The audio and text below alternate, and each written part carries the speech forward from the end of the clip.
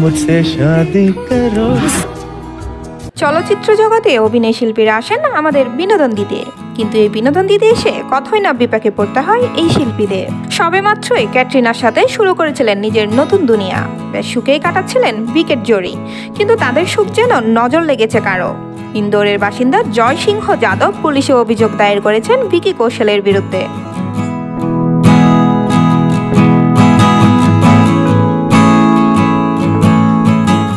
সিংহের অভিযোগ, তাকে না জানিয়ে তারই বাইকের নম্বর প্লেট ব্যবহার করা হয়েছে বিকির ছবিতে।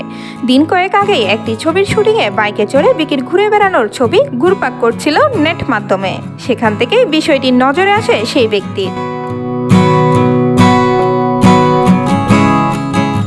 সংবাদ সংস্থা এএনআইকে জয়সিংহ বলেছেন, বিকির বাইকে যে নম্বরটি ব্যবহার করা হয়েছে তা আসলে আমার বাইকের। আমি জানি না ছবির নির্মাতা কথাটি জানেন কিনা কিন্তু আমার অনুমতি ছাড়া এভাবে আমার বাইকের নম্বর ব্যবহার করা যেতে পারে না। আমি থানায় অভিযোগ দায়ের করেছি। আশা করছি প্রয়োজনীয় পদক্ষেপ গ্রহণ করা হবে।